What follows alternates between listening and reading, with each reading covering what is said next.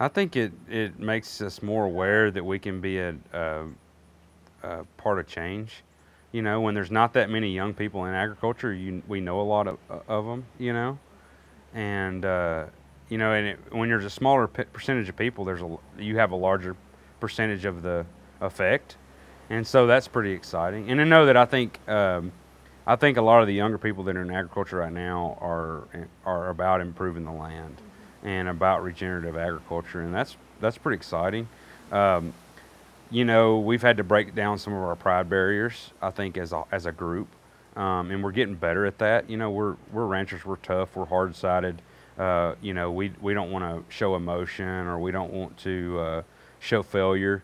And we've had to soften up a little bit as a, as a group, um, become better friends, uh, share share um, be excited when other people have successes. Um, we're not in competition with one another, and I think that's a that's a part of human nature, and that as a group, uh, I would say that we've we, we're all having to overcome.